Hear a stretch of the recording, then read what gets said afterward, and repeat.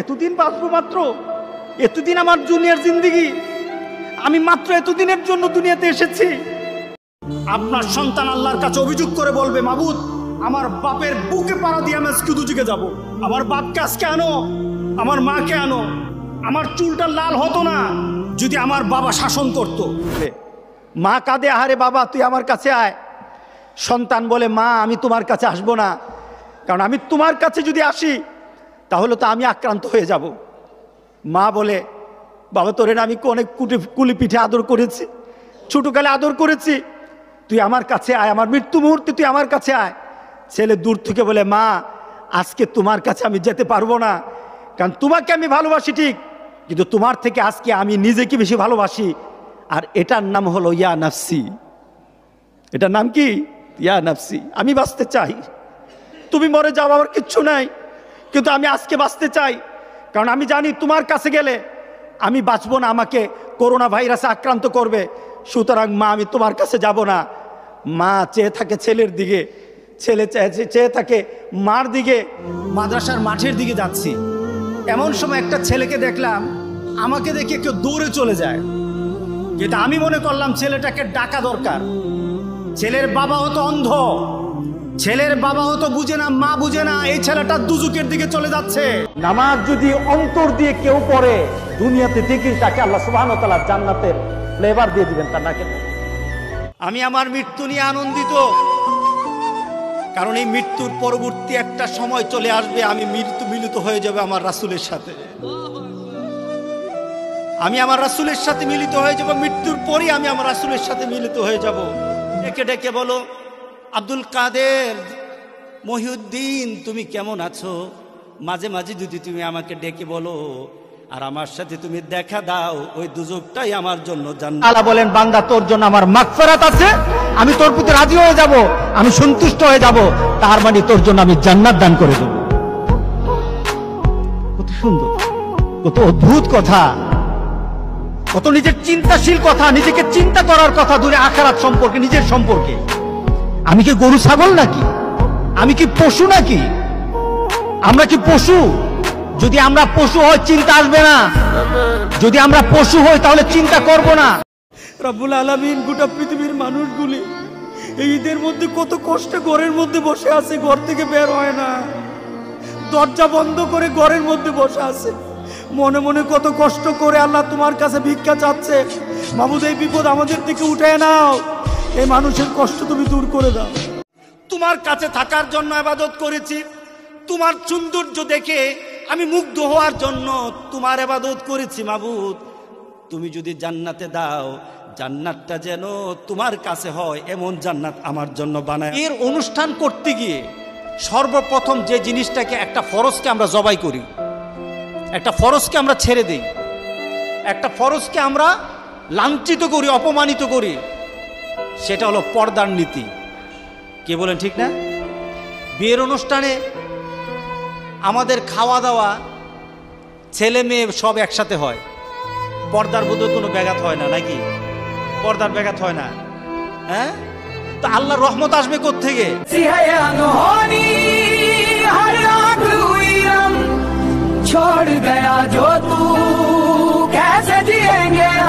তাহলে অন্য মেয়ের সাথে টিপটিজিং করে। অন্য মেয়েকে অন্য মেয়ের সাথে খারাপ ব্যবহার করে, অন্য মেয়ে আবার ছেলেদের সাথে খারাপ ব্যবহার করে।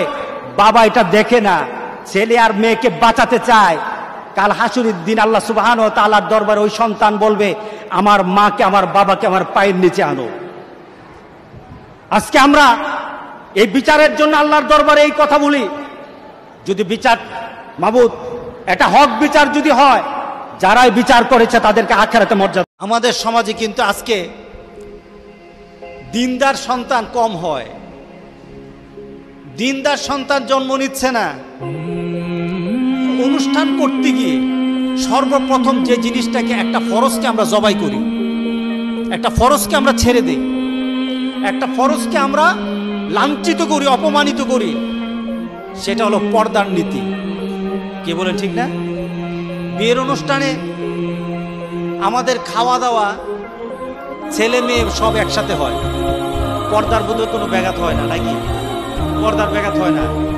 হ্যাঁ? তা আল্লাহ রহমত আসবে থেকে আপনি একটা সুন্নত পালন করতে গিয়ে ফরজটাই আপনি শেষ করে দিচ্ছেন। তা আল্লাহ রহমত পাবেন থেকে বিয়ে তো আপনার পরিবারের নীতি না। বিয়েটা আল্লাহ এবং রাসুলের নীতি। আপনাকে সেখানে যেতে হবে, এটাকে মানতে হবে। পাক আলাইহি সাল্লাম বলেছেন, যেই জিনিসে নেশা আছে, ওইটাই হারাম। যেই জিনিসে নেশা আছে, ওইটাই হারাম। আপনার নেশা হতে পারে খাদ্যের মধ্যে, নেশা হতে পারে আপনার তাসের মধ্যে, নেশা হতে পারে আপনার জুয়ার মধ্যে। রাসুল পাক আলাইহি সাল্লাম সকল ধরনের নেশাকে হারাম করেছেন। কারণটা কি? একটা মোমেন্ট যখন নেশাতে ঢুকে যায়, তখন সে আল্লাহকে ভুলে যায়। তখন তার এবাদতকে ভুলে যায়। তখন তার নামাজ ভুলে যায়, তখন তার জিকির ভুলে যায়, তখন তার বাবাকে ভুলে যায়, তখন তার স্ত্রীকে ভুলে যায়, তখন তার নিজের কর্তব্যকে ভুলে যায়, তখন সে অমানুষ হয়ে যায়, একটা পশুর থেকে আরও খারাপ হয়ে যায়। আজান হবে, আমি আর কাজে থাকব না। আজান হবে, আমি আর কারও সাথে বসা থাকব না। আজান হবে, আমার বাবু যদি আমার কাছে থাকে, আমি আমার বাবার সাথে থাকব না। আজান হবে, গোটা পৃথিবীর কোনো ব্যক্তি যদি আমাকে ডাকে, ওই ডাকে সাড়া দেব না। আগে আমি আল্লাহর ডাকে সাড়া এর অনুষ্ঠান করতে গিয়ে সর্বপ্রথম যে জিনিসটাকে একটা ফরজকে আমরা জবাই করি, একটা ফরজকে আমরা ছেড়ে দিই, একটা ফরজকে আমরা লাঞ্ছিত করি, অপমানিত করি, সেটা হলো পর্দার নীতি। কে বলেন ঠিক না? বিয়ের অনুষ্ঠানে আমাদের খাওয়া দাওয়া, ছেলে মেয়ে সব একসাথে হয়। পর্দার বোধ কোনো ব্যাঘাত হয় না, নাকি? পর্দার ব্যাঘাত হয় না। হ্যাঁ? তো আল্লাহর রহমত আসবে থেকে তাহলে অন্য মেয়ের সাথে টিজিং করে, অন্য মেয়েকে অন্য মেয়ের সাথে খারাপ ব্যবহার করে, অন্য মেয়ে আবার ছেলেদের সাথে খারাপ ব্যবহার করে। বাবা এটা দেখে না, ছেলে আর মেয়েকে বাঁচাতে চায়। কাল হাসুরির দিন আল্লাহ সুবাহান ও তালার দরবারে ওই সন্তান বলবে, আমার মাকে, আমার বাবাকে আমার পায়ের নিচে আনো। আজকে আমরা এই বিচারের জন্য আল্লাহর দরবারে এই কথা বলি। যদি বিচার মাবুদ এটা হক বিচার যদি হয়, যারাই বিচার করেছে তাদেরকে আখেরাতে মর্যাদা। আমাদের সমাজে কিন্তু আজকে দিনদার সন্তান কম হয়। দিনদার সন্তান জন্ম নিচ্ছে না। অনুষ্ঠান করতে গিয়ে সর্বপ্রথম যে জিনিসটাকে একটা ফরজকে আমরা জবাই করি, একটা ফরজকে আমরা ছেড়ে দিই, একটা ফরজকে আমরা লাঞ্ছিত করি, অপমানিত করি, সেটা হলো পর্দার নীতি। কে বলেন ঠিক না? বিয়ের অনুষ্ঠানে আমাদের খাওয়া দাওয়া ছেলে মেয়ে সব একসাথে হয়। পর্দার বোধে কোনো ব্যাঘাত হয় না নাকি পর্দার ব্যাঘাত হয় না। হ্যাঁ? তা আল্লাহ রহমত আসবে থেকে আপনি একটা সুন্নত পালন করতে গিয়ে ফরজটাই আপনি শেষ করে দিচ্ছেন। তা আল্লাহ রহমত পাবেন থেকে বিয়ে তো আপনার পরিবারের নীতি না। বিয়েটা আল্লাহ এবং রাসুলের নীতি। সেখানে যেতে হবে, এটাকে মানতে হবে। পাক সাল্লাল্লাহু সাল্লাম বলেছেন, যেই জিনিসে নেশা আছে, ওইটাই হারাম। যেই জিনিসে নেশা আছে, ওইটাই হারাম। আপনার নেশা হতে পারে খাদ্যের মধ্যে, নেশা হতে পারে আপনার তাসের মধ্যে, নেশা হতে পারে আপনার জুয়ার মধ্যে। রাসুল পাক আলাইহি সাল্লাম সকল ধরনের নেশাকে হারাম করেছেন। কারণটা কি? একটা মোমেন্ট যখন নেশাতে ঢুকে যায়, তখন সে আল্লাহকে ভুলে যায়।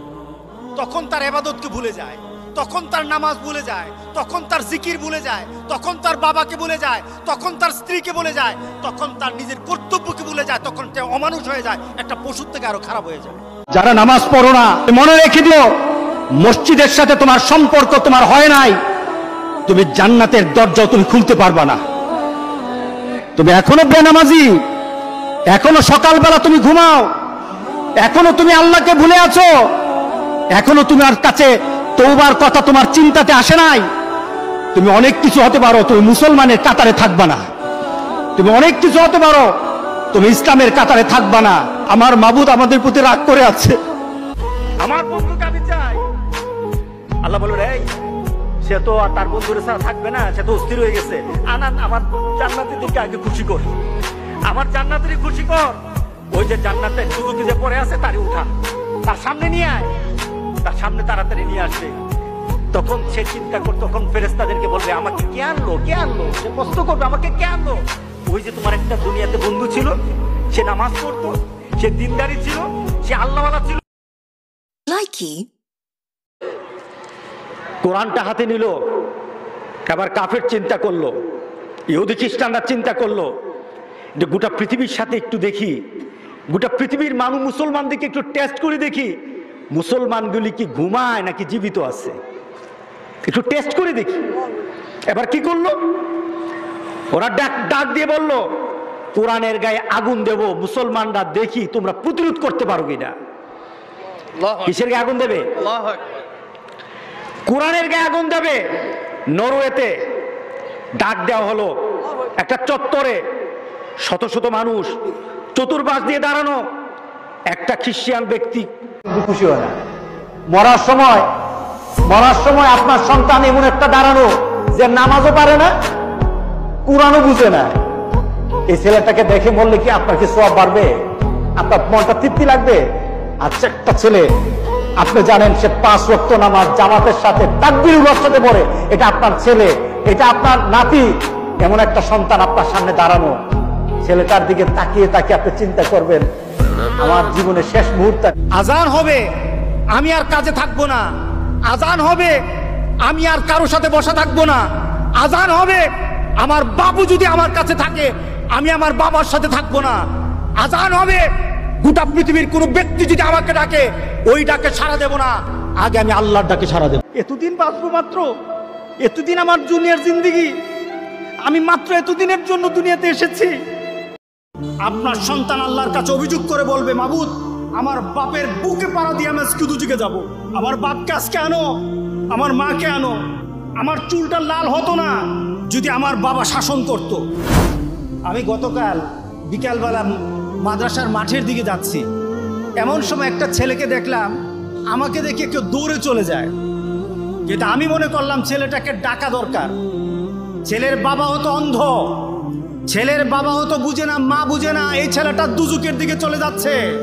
ছেলের বাবা হয়তো বুঝে না যে আমার ছেলেটাকে আমি ধ্বংস করে দিচ্ছি।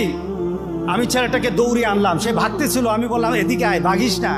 ছেলেটাকে কাছে এনে বললাম, তুই যে চুলটাকে লাল করেছিস, চুলটা লাল।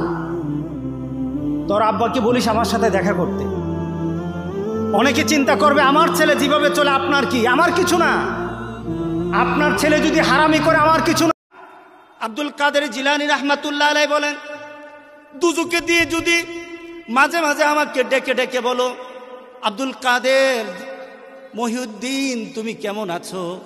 মাঝে মাঝে যদি তুমি আমাকে ডেকে বলো আর আমার সাথে তুমি দেখা দাও, ওই দুজকটাই আমার জন্য জান্নাত হয়ে যাবে। আসিয়া বলেন, মাবুদ, আমি জান্নাত চাই। জান্নাত আমার জন্য বানাও, জান্নাতের ঘর আমার জন্য বানাও। কিন্তু আমি ওই জান্নাতে যেতে চাই না, যেই জান্নাত তোমার থেকে অনেক দূরে, ওই জান্নাত না। ইন্দাকা তোমার কাছে। কারণ আমি দুনিয়াতে তোমাকে দেখার জন্য আমি আবাদত করেছি। তোমার কাছে থাকার জন্য আবাদত করেছি। তোমার সৌন্দর্য দেখে আমি মুগ্ধ হওয়ার জন্য তোমার আবাদত করেছি মাবুদ। তুমি যদি জান্নাতে দাও জান্নাতটা যেন তোমার কাছে হয় এমন জান্নাত আমার জন্য বানায়া।